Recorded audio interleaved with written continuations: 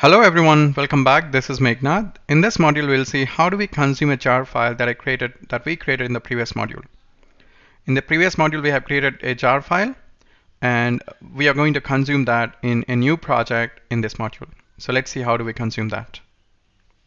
Now this is a module a project that we created and we exported the jar file. So the jar file is here, D drive Java libraries. So we have created in module or lesson number 42. Now uh, now in lesson number 43, we need to consume this jar file.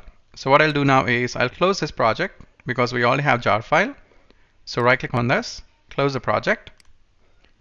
And in case if you want to, if you forget to create a jar file, so please refer the lesson 42 that we have, that I've explained how to create a jar file. Now what we'll do here, file, new, Java project. And I'll write here project 43 and click on next. And uh, I want module info click on finish. Now I'll add a package. Right click on this add new package. I'll give the package name as my client package. And I'll give I'll add a class name. Right click on this add new class. I'll write here my class. Now in this I want to consume the jar file and I want to run the code. So I'll select main method here. Now click on finish now I want to add the jar file that I created. So where is my jar file? My jar file is in D drive Java libraries. So let me copy the path, right click on this copy. So what I have to do here is right click on this project 43 and you have to select build path, configure build path. So I repeat once again, right click on this project 43, build path, configure build path, and you have to select your libraries and here click on select the class path here. So click on libraries. And when you click on libraries you will see these disabled. Now click on the class path here. So the moment you click on the class path here when you click on the class path you will see these are enabled. Now what I have to do now I need to add external jar file. Click on this. And where is my jar file? D libraries. And select this make library.jar click open. That will be added here. Click apply and close now, when you add a jar file, you'll, you'll, you'll see this new folder got added here in the left-hand side called reference libraries. Now, under the reference libraries, when you expand it, you'll see make library.jar. So you can also expand it. You can see here the package, college subjects, and you can also see here mathematics.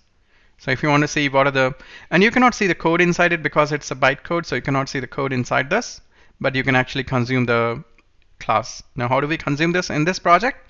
So all you have to do is, since you have to consume this mathematics class, you have to import the package in which mathematics is there. So mathematics class is present in college student. So, so anyway, let's type it here. So I'll be writing here mathematics obj is equal to new mathematics.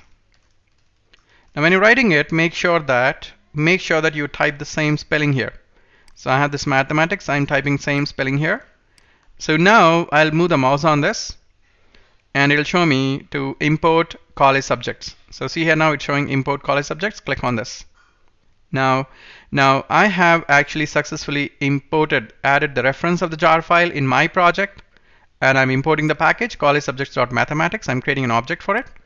And now I want to find addition of two numbers, SYSO control space obj.add and I'll write here 5 comma 6.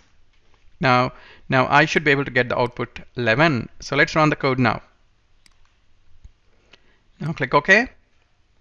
Now we're able to successfully uh, add a jar file and write the code to consume that um, method, add method which is there in the jar file.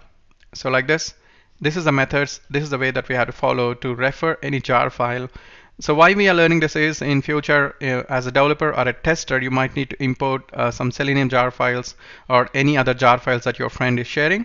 So it's always necessary for you to know how do we import jar files. Okay, so I hope you're clear with importing jar files and writing the code to consume the methods in jar file. So thank you and see you in the next module.